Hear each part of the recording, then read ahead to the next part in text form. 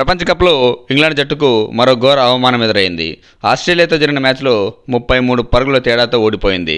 దీంతో ఇంగ్లాండ్ జట్టు ఇప్పటి వరకు ఏడు మ్యాచ్లు ఆడితే కేవలం ఒక్క మాత్రమే గెలిచి ఆరు ఓటములతో పాయింట్ పట్టికలో ఘోరాతి ఘోరంగా చివరి స్థానంతో సరిపెట్టుకుంది. ఇంకా చెప్పాలంటే ఇంగ్లాండ్ జట్టు కంటే నెదర్లాండ్స్ ఆఫ్ఘనిస్తాన్ కంటే ముందు ఉన్నాయి.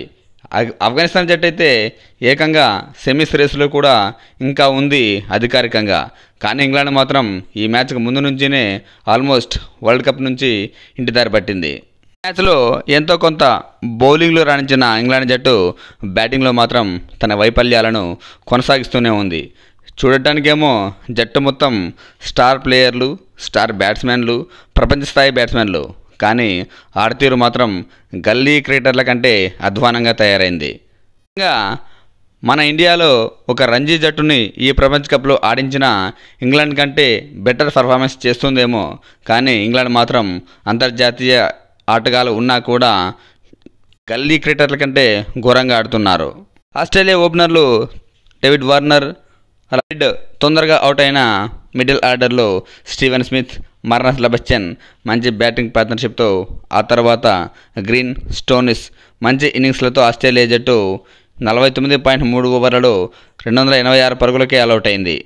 ఇంగ్లాండ్ బౌలర్ వోక్స్ నాలుగు వికెట్లతో రాణించాడు. నిజానికి ఈ టార్గెట్ను చేంజ్ చేయాల్సి ఉంది. ఎందుకంటే ఇదే గ్రౌండ్లోనే ఇదే ఇంగ్లాండ్ న్యూజిలాండ్ జట్ల మధ్య జరిగిన మ్యాచ్లో న్యూజిలాండ్ జట్టు ఇదే టార్గెట్ను అలబోకగా చేంజ్ చేసింది. కేవలం రెండు వికెట్లు మాత్రమే కోల్పోయి చేంజ్ చేసింది. కానీ ఈరోజు ఈ పరుగులను చేయడానికి ఇంగ్లాండ్ జట్టు కింద మీద పడ్డ ముప్పై మూడు పరుగుల తేడాతో ఓడిపోయింది. ఆస్ట్రేలియా బౌలర్లు సమిష్టిగా రాణించారు. ముఖ్యంగా స్పిన్నర్ జంప ఈ మ్యాచ్లో అద్భుతంగా బౌలింగ్ వేశాడు. పది ఓవర్లలో కేవలం ఇరవై ఒక్క పరుగులు మాత్రమే ఇచ్చి మూడు వికెట్లు తీస్తే ఫాస్ట్ బౌలర్లు Mitchell Starc Hazlewood Pat Cummins చెర్రో రెండు వికెట్లు తీశారు. ఆల్రౌండర్ మార్కస్ టోనిస్ ఒక వికెట్ తీశాడు. ఈ విజయంతో ఆస్ట్రేలియా జట్టు పది పాయింట్లతో థర్డ్ ప్లేస్కు నిలిచింది. మరోపక్క ఈరోజే పాకిస్తాన్ న్యూజిలాండ్ జట్ల జరిగిన మ్యాచ్లో న్యూజిలాండ్ ఓడిపోవడంతో పది పాయింట్లతో సారీ ఎనిమిది పాయింట్లతో నాలుగో స్థానంలో నిలిచింది. ఇప్పటికైతే న్యూజిలాండ్ కూడా సెమీస్ అవకాశాలు ఉన్నాయి న్యూజిలాండ్పై గెలుపుతూ అటు పాకిస్తాన్కు ఇటు ఆఫ్ఘనిస్తాన్కు కూడా సెమీస్ అవకాశాలు ఇంకా ఉన్నాయి. మ్యాచ్ అనంతరం మాట్లాడిన ఇంగ్లాండ్ కెప్టెన్ ఈ ప్రపంచ కప్లో ఆఫ్ఘనిస్తాన్ నెదర్లాండ్స్ జట్లు కూడా బ్యాటింగ్లో అద్భుతంగా నడుస్తున్నాయి. మేము మాత్రం ఎందుకు ఫెయిల్ అవుతున్నామో మాకే అర్థం కావడం లేదు. మాకంటే చిన్న జట్లు కూడా మెరుగైన బ్యాటింగ్ చేసిన పిచ్లపై మేము మాత్రం తడబడుతున్నాం. బెంగళూరు పిచ్పై శ్రీలంకపై అలాంటి ఆడతీరును కనబరచడం నిజంగా మా వైఫల్యాలకు ప్రధాన కారణం.